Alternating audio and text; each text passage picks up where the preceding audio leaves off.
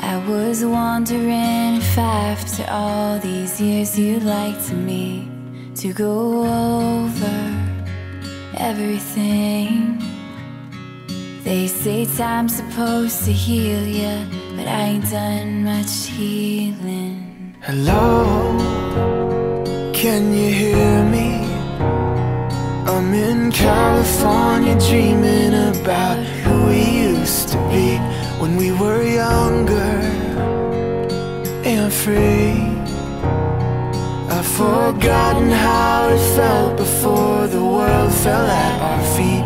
There's such a difference between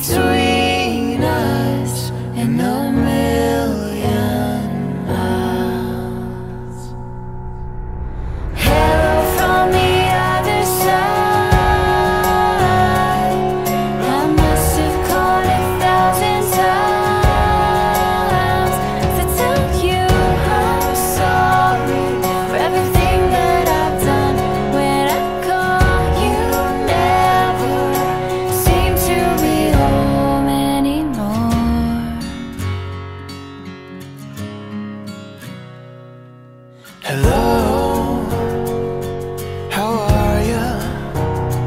It's so typical of me to talk about myself. I'm sorry. I hope that you will. Did you ever make it out of that time when nothing ever happened? It's no secret that the both of us are